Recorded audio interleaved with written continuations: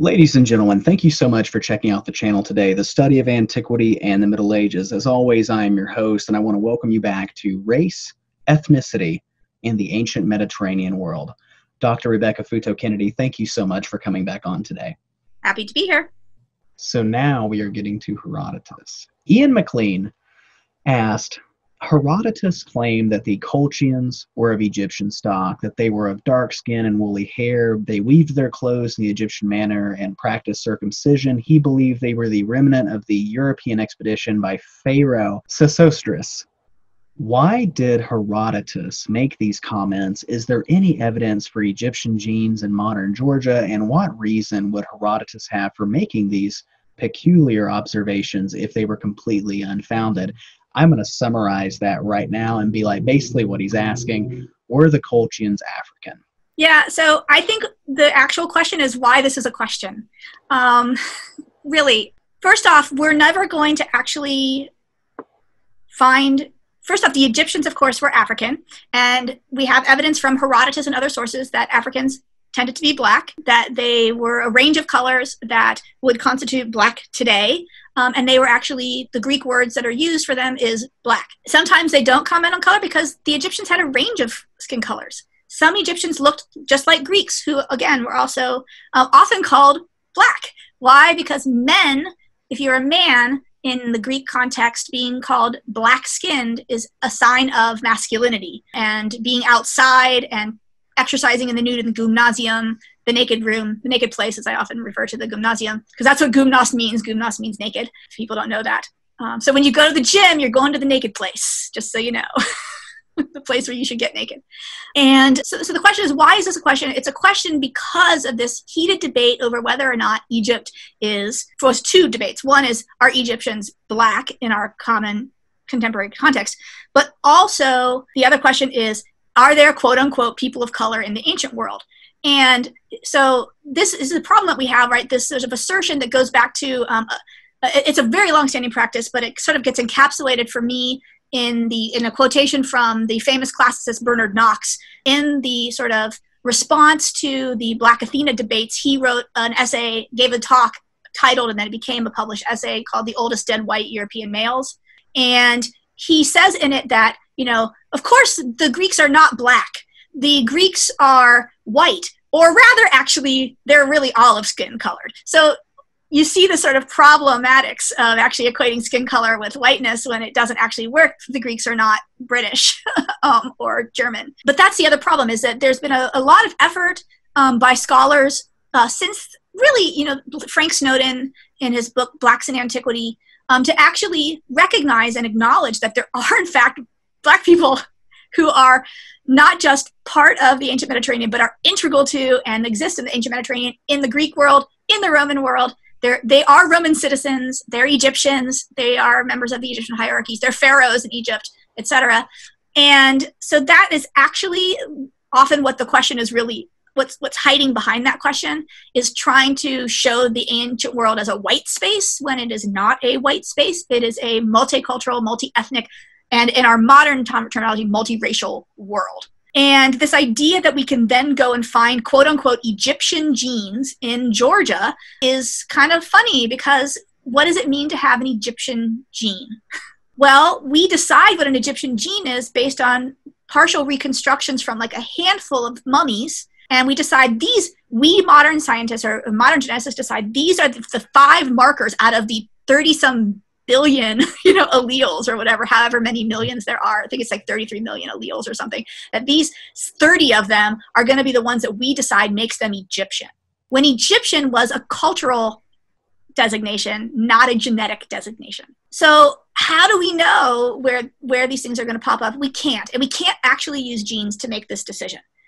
Herodotus describes a group of people called the Colchians as being black and I would also push. I would push. Not they. He doesn't say that they have dark skin and woolly hair. He has they have they say have black skin and kinky hair. Using woolly hair actually is the pretends that the word that he's using is the same word that's used for sheep, and it's not. Sheep's hair is not what they the word they use to describe people's hair. So we want to be careful. It's like tightly twisted, right, or kinky hair, not woolly hair, and it's not dark skin. It's black, and this is a word that is used of Ethiopians, of Egyptians, of Odysseus, and, and others, right? Um, and it, but it codes differently in different contexts. So he's he, it, the question is, are they of Egyptian stock? It is very likely that there was Egyptians who, for whatever reason, settled in the Black Sea. The Black Sea has hundreds of colonies that settled all along it. The, the city of Miletus itself settled something like 90 colonies and trade outposts on the Black Sea. Right? So obviously it's it's possible that this is a remnant of an Egyptian exhibition that actually settled there. Or they could have been mercenaries that were hired. Is this group of Colchians, the people that they're calling the Colchians here, is this the same people that the mythical Medea comes from, the Colchians? We don't know um, because these terms are not consistently used over time. And Herodotus is one of the worst in terms of consistency of categories and consistency of terminology. Um, because he's recording what people tell him, he isn't necessarily consistent with, with what he says. And so, one thing that is a mark of Egyptians in book two is not a mark of Egyptians in book seven, um, because you're getting a story from different angles. So, yes, it's quite possible that these people were, in fact, Egyptian. It's quite possible that they were black skinned and that they had twisty hair, twisted hair. Um, it's also possible that they practiced circumcision. We know of multiple groups in antiquity that practiced circumcision, um, not just the Egyptians. Obviously, the Jews did, but Herodotus doesn't actually know who Jews are. And so there's some question about maybe he conflates Egyptians and Jews. Um, especially since we get to later texts like Herodotus and others that say that the Jews were actually Egyptians who were driven out. So there's there's the fact that these groups are not distinct and actually clearly able to delineate is a product of our source material. Um, but my question is, why do we want to ask this question? Do we really want to ask this question because we're trying to basically make sure that our spaces, like Georgia, which is, of course, one of the spaces that um, Blumenbach targets as the epitome of whiteness, right? This is why we have the word Caucasian has made its way into our taxonomies of humans is because a guy named Blumenbach said, hey, the most beautiful white people in the world live in the Caucasus Mountains. They live in Georgia and the Ukraine. And so I'm going to call all white people Caucasians. That term doesn't actually have anything to do with our genetic or ethnic descent. I mean, my family, part of my family is actually from the Caucasus Mountains. So I guess I could be, I'm like, you know, a little bit Caucasian. But most people aren't. Most people are not from that region. So they, they, but they use the word to stand in for whiteness as if it's a as if it's a, a scientific term. It's not a scientific term, and we cannot actually mark genetically for it.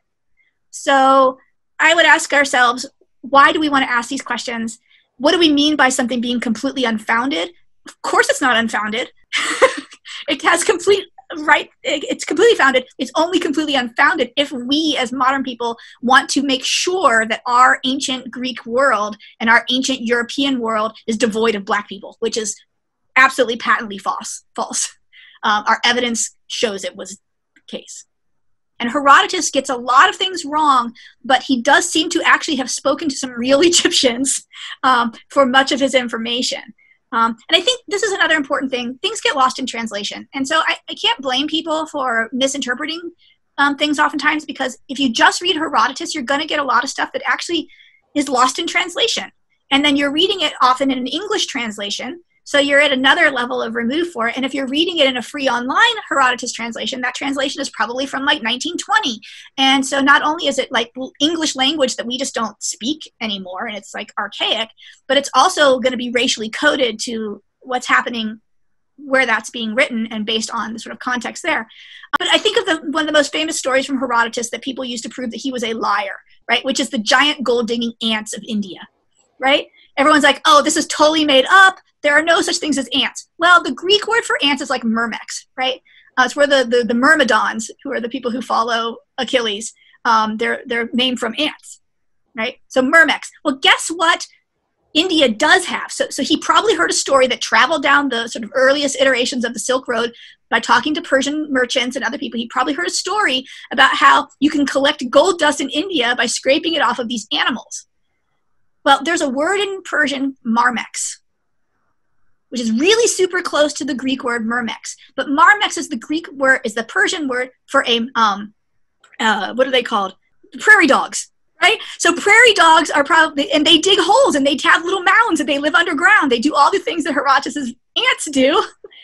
and then they but they're big right and they come out of the ground and then you can capture them and then you can scrape the gold dust off their fur so how much of this misunderstanding of what herodotus said has to actually do with the fact that there's multiple languages that are being cycled through as in the process of telling this story it's like a game of telephone right? Remember that game you play in like elementary school or whatever, where everybody like whispers something in an ear, and then you see how it changes as it goes down the road. And the further it moves along the chain, the worse the distortions and the garbling get, right? I think that happens a lot, and I think people put too much weight of evidence on a single passage or a single line or a single word in a text, especially when you're reading it in translation, but even when you're reading it in Greek. This has been a long, hard process with professional um, classicists and philologists who want to get down into that micro word, but you got to take that word, you got to put it into the bigger context, and then you have to put the whole thing into its context of transmission.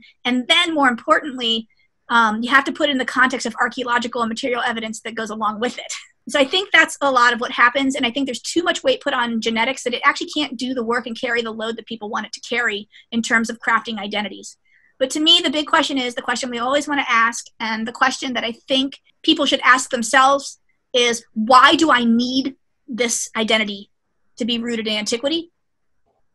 Why do I need this identity to go back to the Greeks? Why do I need these people to be like me? And why do I need these people to not be like me?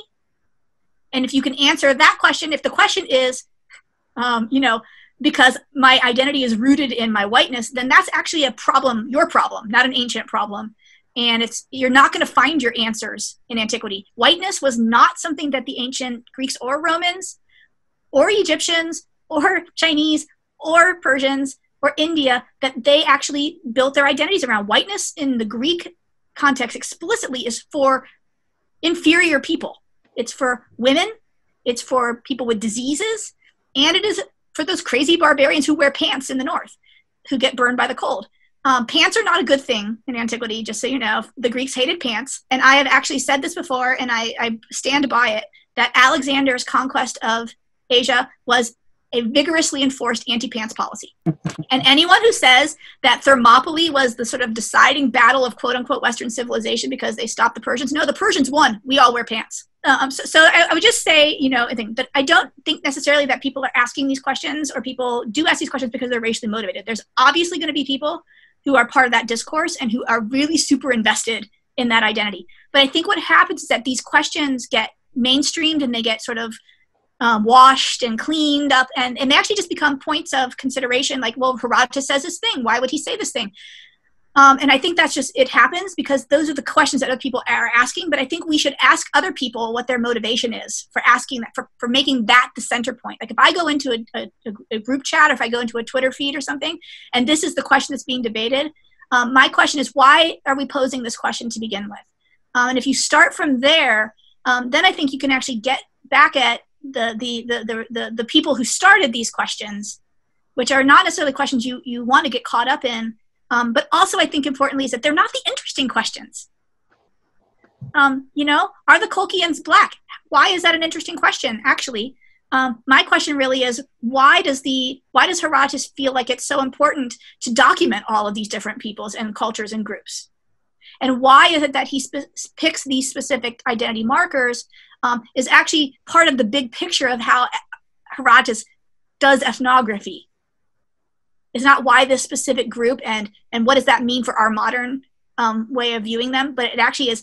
So why are these the things that are important for for him to ask, and how have we then taken those things and turned them into something else? so, so, so one of the things I also want to say here is that just be, it's not to say that this the question that people might ask has its roots in racism isn't to say that the person asking the question is racist. It's actually to say that we should question why these are our questions and what the history of, of our our reception of Herodotus and specifically our reception of Africanness and blackness is that would make this be part of the everyday conversation in groups that are interested in Herodotus and in antiquity. Yeah, it,